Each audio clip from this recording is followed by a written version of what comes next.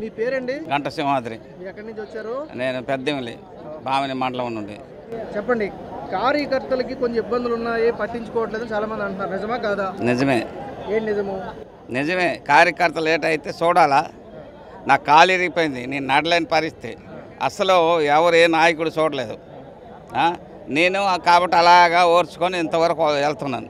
మొన్న ఇంత ప్రళయం వచ్చినప్పుడు మా ఊర్లోన టీడీపీకి ఓట్లు ఎక్కువ వేయించినాను. మాకే ఎక్కువ వచ్చినాయి. మరి ఎక్కడెక్కడ పోతుందంటే మరి కార్యకర్తలు అసంతృప్తి చెందినప్పుడు అది అలాగే దెబ్బే అంటే కొంతమంది అంటున్నారండి కష్టపడినటువంటి వాడికి గుర్తింపు రావట్లేదు అని అంటున్నారు. నిజమా అబద్ధమా నిజమే. ఎట్లా? కష్టపడిన వాళ్ళు మరి ఎంత కష్టపడ్డాను నేను? నాకున్న ఐదు ఎకరాలు పొలము సెంటు భూమి లేకుండా అమ్మాను. అక్కడ నేను తిరిగి నాకు ఏ వ్యసనాలు లేవు. ఒకరికి సాయం చేసి పార్టీలను ఎలక్షన్ వచ్చిందంటే అవులు కానీ నేను ఐదు పైసలు తీసుకోను. నా శాత డబ్బులు ఖర్చు పెట్టి తిరుగుతాను. అలాంటిది సీనియర్ ఒక పార్టీలో ఉన్న నాయకుడు ఏటైతే గుర్తించకపోతే పని పక్కన ఉన్న నాయకులు చూడకపోతే ఏంటి? అంటే ఏం జరిగితే మళ్ళీ పార్టీ బాగుంటుంది మీలాంటి వాళ్ళు బాగుంటారు అనుకుంటున్నారు? ఏం జరిగితే కార్యకర్తలు ముందు కారణం. బిల్డింగ్ కడితే కింద కాంక్రీట్ ఎలాడదో పారి కార్యకర్తలు అదే. కార్యకర్తలు స్ట్రాంగ్ ఉంటే అన్నీ స్ట్రాంగ్ వస్తాయి. ఇప్పుడు ఎలక్షన్ వచ్చిందంటే కార్యకర్తలు దెబ్బలాడిపోయి ప్రాణం పోయి మాటలు కాసి డబ్బులు ఖర్చు పెట్టి ఎలక్షన్లో పాల్గొంటాం. వీళ్ళు వచ్చి చెప్పేస్తారు.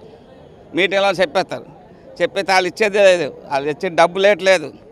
మేము చెక్క ముక్క అమ్మేసి తగులు పడి కోర్టులు పడి వాళ్ళతో దెబ్బలాడి తెస్తాము తెచ్చినప్పుడు గుర్తింపు లేకపోతే ఎందుకండి? మీ పేరేం పేరు? నా పేరు అన్నప్లసం ఏ ఊరు నుంచి వచ్చారు మీరు? బాయన మండలం కోసలి. పెద్ద ఆయన చెప్తున్నారు. పార్టీ కార్యకర్తలను పట్టించుకుంటేనే మంచిదని మీరేమంటారు? కార్యకర్తల బలం ఉంటే విలేజ్ కార్యకర్తల బలం ఉంటేనే మీద లెవెల్ బాగుంటుంది. వాళ్ళకి గుర్తింపు లేనప్పుడు వాళ్ళు చేయలేరు. ఏ పనులు నిష్ఫలం అయిపోతారు. ఇప్పుడు మొన్న ఎందుకు అయిపోయిందండి పార్టీ విలేజ్లో అంటే నిష్ఫలం అయిపోయారు. అంటే మీద లెవెల్ అయితే బాగుంది. చంద్రబాబు వాళ్ళు గెలిచేస్తాం అన్న అనుకొని వీళ్ళంతా నిష్ఫలంగా కార్యకర్తలు పెద్ద మోటివేషన్ చేయలేకపోతారు వాళ్ళు ఖర్చు పెట్టుకు చేశారు. అందుకు అటు ఓటు వెళ్ళింది ఇటు తగ్గింది. పది శాతమే తగ్గింది. ఇటు వేలు వేలు తగ్గిపోలేదు. పది శాతమే నీకు వాళ్ళకి మెజార్టీ వచ్చింది. ఏం చేస్తే బాగుంటుంది మళ్ళా? మళ్ళీ మొదటి నుండి కిందకి వెళ్ళాలి. మీద కింద నుండే మీదకి వెళ్ళాలి. నాది నే- శ్రీకాకుళం నందిగం మండలం అండి. అన్నాపురం మాట్లాడుతున్నా. కార్యకర్త ఒక ఇంటికి పునాదిలాడిదండి కార్యకర్తకి పని చేసినప్పుడు బలపెట్టుకుంటే అష్ట కష్టాలు పడి పని చేసుకొని నువ్వు కాష్ట కాలం పని చేసిన కార్యకర్తకి నువ్వు విలువ ఇచ్చి వాళ్ళు పనులు చేసిన వాళ్ళకి డబ్బులు వాళ్ళకి అన్ని బిల్లులు సక్రంగా వాళ్ళకి మంచి చెడ్డలు చూసుకుంటే నీకు రేపు పార్టీ బలపడుతుందండి. కార్యకర్తకి పని చేసిన వాళ్ళకి డబ్బులు ఇవ్వకుండా పశువు కుంకాలకి ఇలాంటి లేనిపో డబ్బులు ఇవి ఇచ్చుకున్న లోట బిల్లులు ఇప్పుడు రెండు సంవత్సరాలు బట్టి పనిచేయండి నేను ఒక మూడు లక్షల యాభై వేలు నేను కస్తూరి గాంధీ బయట చేశానండి. ఆ జా వాళ్ళు చెక్కు చేసి అన్ని రికార్డు చేసి అన్ని చేసిన తర్వాత అవేమో చంద్రబాబు నాయుడు తీసి పశువు కొంకలు కేసాడని చెప్పి ఆ బిల్లు ఇంతవరకు అవ్వలేదండి. ఇప్పుడు అలాంటప్పుడు పార్టీ కార్యకర్త బలపడితే కదా నీకు కార్యకర్త అక్కడ కష్టపడితే కదా నీకు ఓటింగ్ జరుగుతుంది. తెలుగుదేశం ప్రభుత్వం వచ్చినోడు ఏంటంటే అంత సమానత్వం భావం మీద ప్రజలకు అందరికి సమన్యాయం జరుగుతాను సార్. మిగతా పార్టీలు వచ్చినోడు వాళ్ళు ఇరుకుని పెట్టేసి కార్యకర్తలకు ఇబ్బందులు పెట్టి వాళ్ళ పార్టీ స్వలభం చేసి వాళ్ళకి బలపరుస్తున్నారు కాబట్టి వాళ్ళు ముందుకు రావడానికి అవకాశాలు వస్తాయి మనం ముందుకు రాలేకపోవడానికి కారణాలు ఇవేంటి సార్? ఒక కొంచెము నిజము ఉన్నది వాస్తవం అబద్ధము ఉన్నది సార్. మరి ఒక తిత్లీ తుఫాన్లో మనకు డబ్బులు వచ్చినాయి పెర్ఫెక్ట్గా మనము అక్కడ సరి చేసుకుని డబ్బులు ఇచ్చినామా ఎవడా వైఎస్ఆర్ అక్కడ పది ఎకరాలు రాసుకుంటే ఆడికి డబ్బులు ఇచ్చాడు మీనే?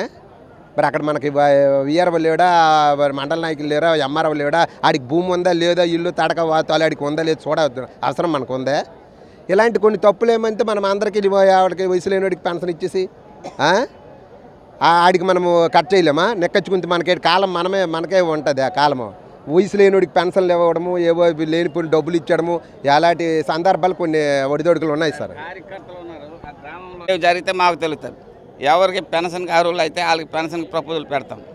లేకపోతే ఇలా తుఫాన్లు వచ్చినప్పుడు ఇది అయితే అవి పెడితే మరి కార్యకర్తలు లేదు. అలా పై ఆఫీసర్లు వాళ్ళు వచ్చాయి ఎలక్షన్ అప్పుడు వాళ్ళు వచ్చి చెప్తారా? ఇంటింటికి వెళ్ళి ఓట్లు వేయమని. మరి అందుకే ఇలా దెబ్బ వచ్చింది. ఇప్పుడు కార్యకర్తలు అవి అప్పగిస్తే కార్యకర్తలు కానీ ఒక ఎంఆర్ఓ ఆఫీస్ ఒకటి వేసినో ఇలాంటి కార్యక్రమాలు వీళ్ళకి అవకాశం ఇస్తే మరి ఏ తిరిగి చూడక్కర్లేదు. మరి కార్యకర్తలకు అండగా ఉంటేనే బాగుంటుందని చాలా మంది చెప్తున్నారు. అంటే కార్యకర్తలకు అండగా ఉండాలంటే ఏం చేయాలి? కార్యకర్తల కంటే నిరంతరం కార్యకర్తలు ఇప్పుడు కార్యకర్తలు ఎన్నో ఈ ప్రభుత్వం ద్వారా ఎన్నో కష్టాలు ఫేస్ చేస్తున్నారు. వాళ్ళకి ధైర్యం ఇవ్వాలి. వాళ్ళ వెనకాల ఉండాలి. మేము ఉన్నాం. పదా ఎక్కడికి వెళ్దాం ఎక్కడ తీసుకెళ్తాం పదా.